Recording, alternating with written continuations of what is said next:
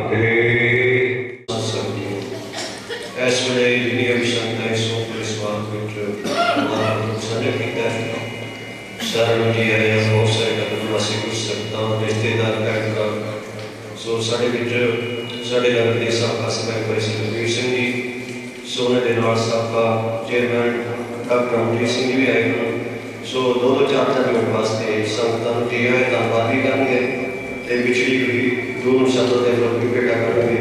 ਔਰ ਸਭ ਤੋਂ ਪਹਿਲਾਂ ਸਾਡੇ ਸਾਬਕਾ ਸਰਪੰਚ ਭਾਈ ਸੁਖਬੀਰ ਸਿੰਘ ਜੀ, ਸੋ ਇਹ ਆਪੇ ਆਪਣੀ ਸਿੰਘ ਨੂੰ ਸੰਗਤਾਂ ਦਾ ਧੰਨਵਾਦ ਕਰਨ।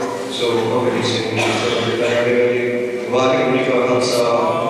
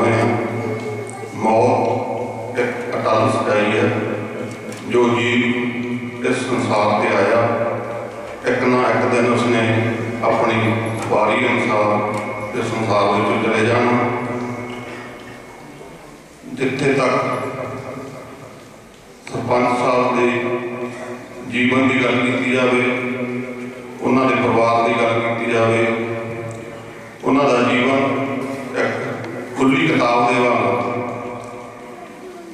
ਬੜਾ ਲੰਮਾ ਸਮਾਂ ਸਨ 1978 ਤੋਂ ਲੈ ਕੇ 30 ਸਾਲ ਬਤੌਰ ਸਰਪੰਚ ਇਸ ਨਗਰ ਦੀ ਰਹਿਣ ਵਾਲੀ ਕੀਤੀ। ਮੈਨੂੰ ਜਿੱਥੇ ਤੱਕ ਯਾਦ ਆ ਕੋਈ ਵੀ ਇਹੋ ਜਿਹਾ ਮਸਲਾ ਨਹੀਂ ਜੋ ਉਹਨਾਂ ਨੂੰ ਨਾਮਜ਼ਦ ਕਰਾਇਆ ਗਿਆ ਹੋਵੇ। ਸੱਤ ਭੈਣ ਭਰਾਵਾਂ ਚੋਂ ਵਿਚਕਾਰਲੇ ਉਹਨਾਂ ਨੇ ਆਪਣੇ ਪਰਿਵਾਰ ਦੀ, ਆਪਣੇ ਬੱਚਿਆਂ ਦੀ ਹਰਨੇਕ ਸਿੰਘ ਅਤੇ ਕੁਲਵਿੰਦਰ ਸਿੰਘ ਦੋਹਾਂ ਨੂੰ ਪਾੜ ਕੇ ਉਹਨਾਂ ਦੀ ਚੰਗੀ ਪਰਵਰਿਸ਼ ਕਰਕੇ ਉਹਨਾਂ ਨੂੰ ਜੀਵਨ ਦੀ ਜਾਨ ਸਦਾਈ ਦੁਨੀਆ ਦੇ ਵਿੱਚ ਜੀਵਨ a Jonathan